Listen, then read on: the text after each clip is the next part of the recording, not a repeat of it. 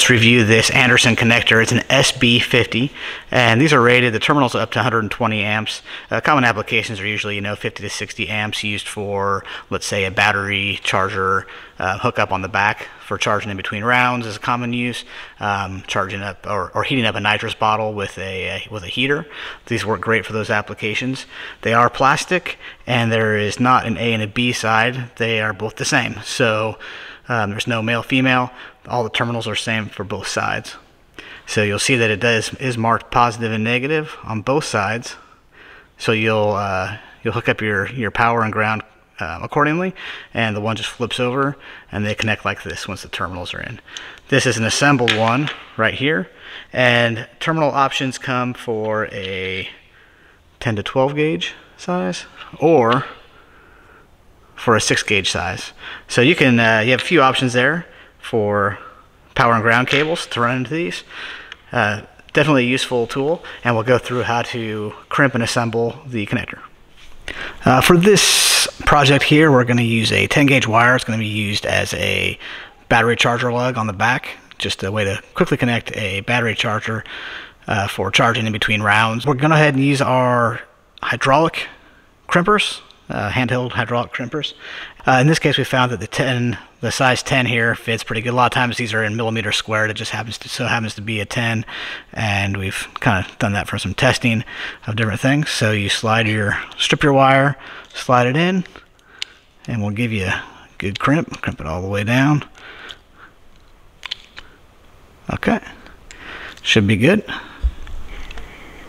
All right, there you can see a good crimp all the way around.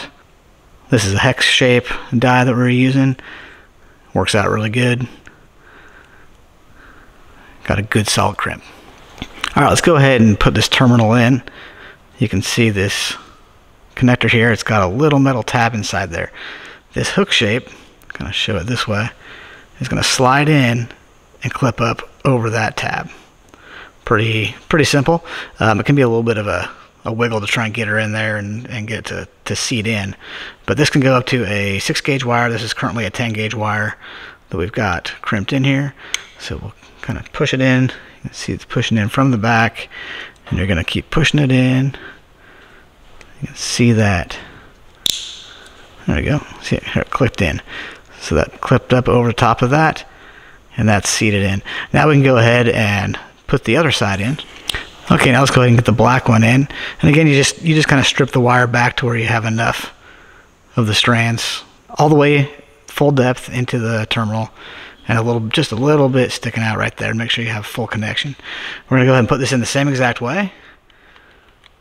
And again, you've got your positive, your negative. You can also see it on the other side, positive and negative up here. All right, let's go ahead and get that put in. Kind of see there. See this. There we go. Clips in. Okay, so now we have one side of the connector terminated. Luckily, the other side is exactly the same. All right, so here we go with two. Again, two of these connectors. Again, they are exactly the same. You've got two mounting holes in each each one to go ahead and fasten that to something if you need to. And when you turn it around, turn one upside down, they're going to go together and clip together. Again, these are more preferred for something when the car is stationary, like a battery charger, nitrous bottle. Just because it doesn't have a typical latch, it only has the interference of these two lugs going together. And it's kind of an interesting way of doing it.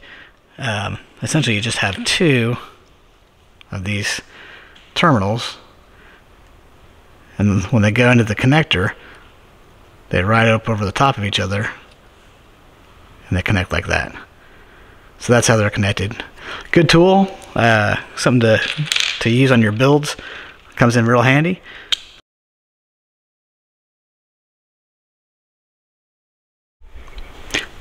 Last but not least, if you want to remove the wire and terminal out of the connector, doesn't even take a special tool, just like a little screwdriver or something. Usually you can just depress that little tab that is clipped over, that little sheet metal tab, and once you depress that with a little screwdriver, you're just basically pushing down like so on the tab that's in there and that'll release it. Pull that out and you're good to go. Hope this helped. If you have any questions, give us a call, shoot us a message.